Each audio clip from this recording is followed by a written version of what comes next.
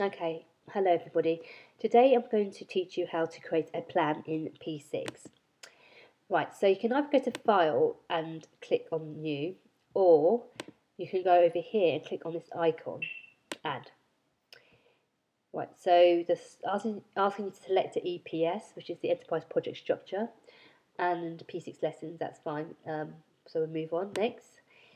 They also ask you to give a project ID, which will which we will give it um, ID of PROJ001.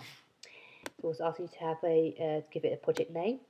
Because it's based on a, a construction build, we're going to call it Project X Build. Click on Next. We can leave the, leave the plan date as the 26th of February 15, which is today's date, that's fine.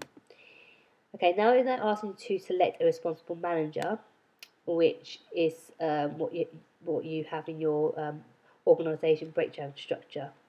Um, we just leave that Southeast office for now, and later on I'll show you how to create one in P6.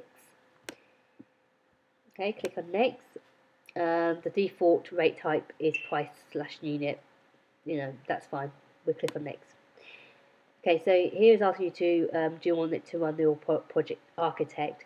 We're going to select no for now because the project architect helps you select and customize and input your methodologies from a pre-built project plan from the methodology management module, which we're not going to do now. so we'll just click on next and click on finish. And that's it, you're done. You've already created a project plan in um, um, P6. And then in the next lesson, I'll, I'll show you how to create a, a work break, a work breakdown structure in P6. Okay.